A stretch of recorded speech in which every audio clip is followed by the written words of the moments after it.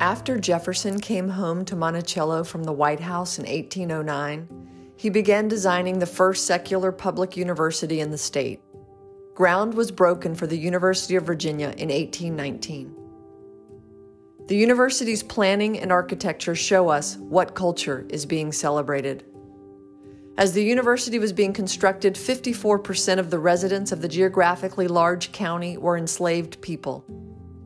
Indeed, enslaved laborers represented a significant part of the construction workforce. The university opened to 40 students in 1825.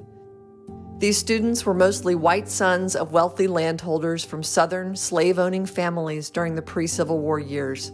It would be 125 years before the university would admit a black male student.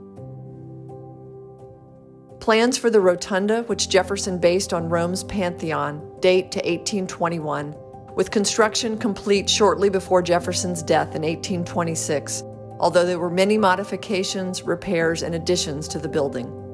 An 1895 fire burned the rotunda and the annex, which was rebuilt a few years later and then ultimately restored in the 20th century to reflect Jefferson's original design in time for the 1976 bicentennial.